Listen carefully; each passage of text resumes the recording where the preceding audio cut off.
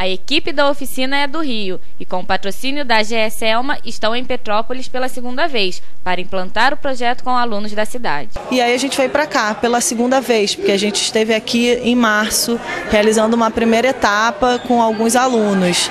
E agora a gente está dando continuidade a um trabalho iniciado e estamos também inserindo novos alunos nesse processo. O trabalho é feito para que as crianças possam participar e aprender todo o processo de elaboração de um pequeno espetáculo espetáculo. Mas os objetivos para as crianças é para que eles levem isso para a vida deles, como um momento onde eles estão aprofundando e descobrindo uma série de habilidades que eles muitas vezes desconhecem. Porque várias crianças chegam aqui e se descobrem. A oficina tem várias etapas, né?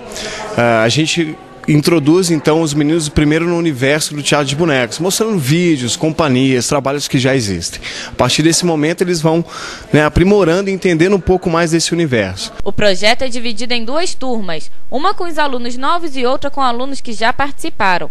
Tudo é feito em grupo e cada equipe se une para que o espetáculo se realize. Cada turma a gente dividiu em pequenos grupos de trabalho. Cada grupo desse está desenvolvendo o seu projeto, que é o que? Montar a sua cena, desenvolver essa montagem. Então a gente dividiu em equipes, dentro dessa equipe todo mundo faz tudo para que essa cena fique pronta. E os alunos antigos, a gente está aprofundando a dramaturgia, a gente está aumentando esse tempo de encenação, a gente está misturando o jogo do ator com a manipulação de bonecos. Todos se mostram muito animados com o trabalho realizado. Os meninos estão descobrindo, esse é um momento muito bacana né, da oficina, que é essa descoberta. Eles vão cristalizando na cabecinha deles o que, que é o teatro de bonecos, que envolve tanta coisa. Né? Eles chegam aqui e não têm essa noção do, desse universo como um todo, né? Ah, tá sendo bom, né? Porque é uma boa oportunidade pra gente, pra gente conhecer umas outras coisas que a gente não tem muita oportunidade de, de fazer, né? Porque é uma coisa gostosa, né? Vamos dizer assim.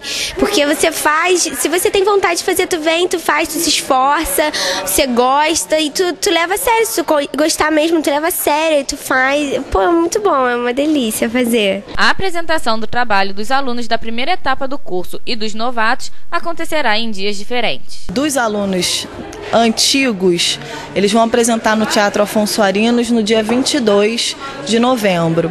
Os alunos novos vão apresentar no dia 20 na Concha Acústica do Museu Imperial, também em novembro.